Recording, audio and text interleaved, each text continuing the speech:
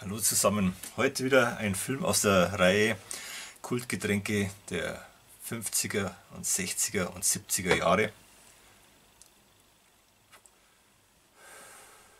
Heute brauchen wir keinen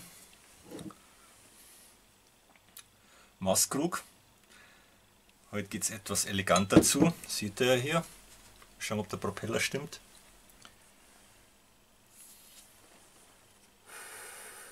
Heute haben wir ein echtes Gentleman-Getränk oder ein Getränk, das auch den Frauen schmeckt.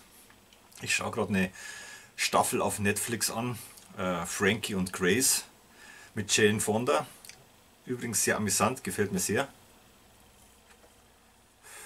Aber was ich raus will ist, ähm, ihr kennt sicher Ian Fleming, der hat James Bond damals ähm, erschaffen mit seinen Romanen in den 50er Jahren und gleich im ersten in Casino Royale hat er vorsätzlicherweise die Mischung eines legendären Cocktails etwas verfälscht.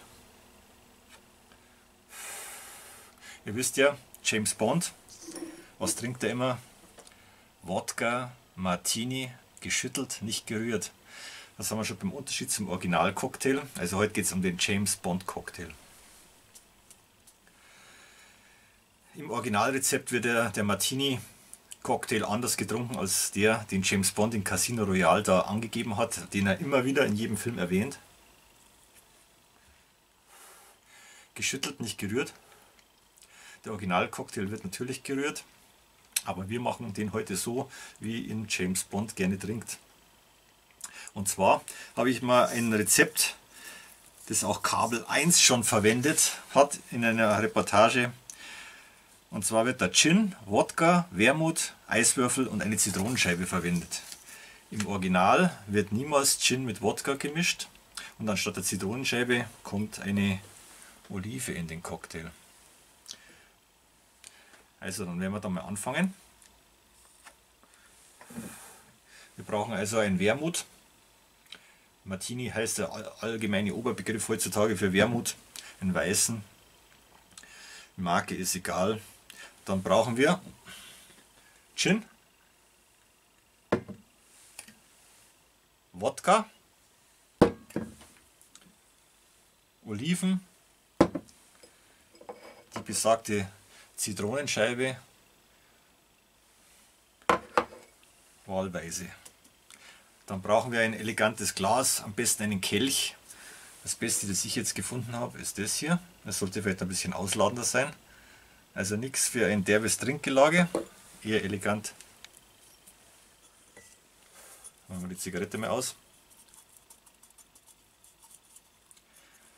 So, dann fangen wir mal an. Um das zu mischen, oh, ein wesentlicher Bestandteil habe ich nicht vergessen. Eis, Crush Eis oder Eiswürfel. Und den Shaker natürlich, weil wir wollen es ja geschüttelt und nicht gerührt. Ich möchte die Kamera mal umstellen und dann werden wir das Ding mal zubereiten habe ich die letzten Tage öfters mal probiert und zwar, weil der in Frankie und Grace die ganze Zeit getrunken wird. So, dann fangen wir mal an zu mischen. Als Maß nehme ich hier so ein Stamperl. Ich will leicht abweichen oder ganz schön abweichen vom Originalrezept in den Mengen. Ich lese euch das Originalrezept nochmal vor. 6 Zentiliter Gin, 1 Zentiliter, 2 Zentiliter Wodka, 1 Zentiliter Wermut, 3 Eiswürfel, und eine Zitronenscheibe. Das ist aber deutlich zu stark, da ist man nach einem Trink Knülle. Ich habe ja den schon die letzten Tage mal probiert und das Maß, das ich für gut befinde, das werden wir jetzt für die Mischung verwenden. Wir fangen mal an mit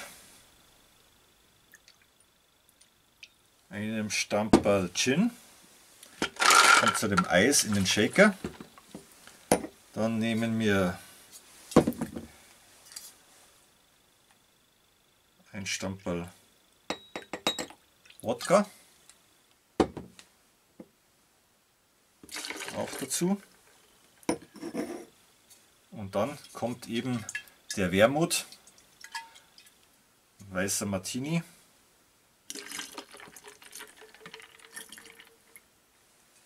dazu. Das Ganze werden wir jetzt ein bisschen schütteln, weil wir wollen sie geschüttelt und nicht gerührt.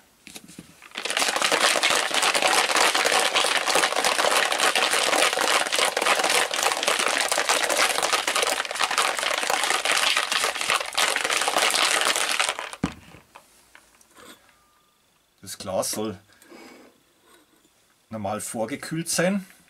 Das heißt, das können wir ins Gefrierfach legen. Und dann, wenn wir Crusheis haben, müssen wir natürlich ein Sieb verwenden, damit es, die Eissplitter nicht in den Cocktail kommen. Ansonsten können wir das hier so auffüllen.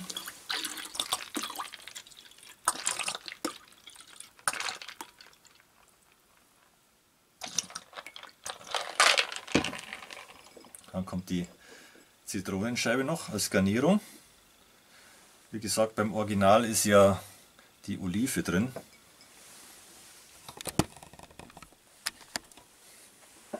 Und jetzt, voilà, lassen wir uns diesen James Bond Cocktail alias Wermut äh, Martini Cocktail schmecken.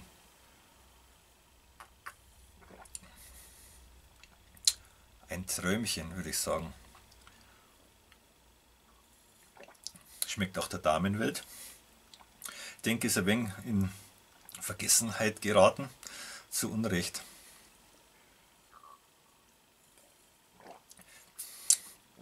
Mein Name ist Bond. James Bond.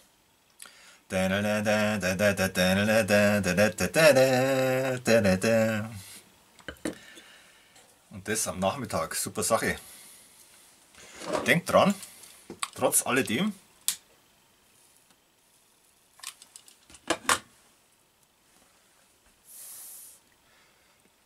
wie gut es schmeckt. Rauchen schädigt ihre Gesundheit und Alkohol macht dick und doof.